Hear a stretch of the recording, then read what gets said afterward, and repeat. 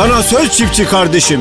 Kırsalda çalışan her kadının ve her gencin sigorta priminin devlet tarafından ödenmesini sağlayacağım. Sana söz 85 milyonun cumhurbaşkanı olacağım. Sana söz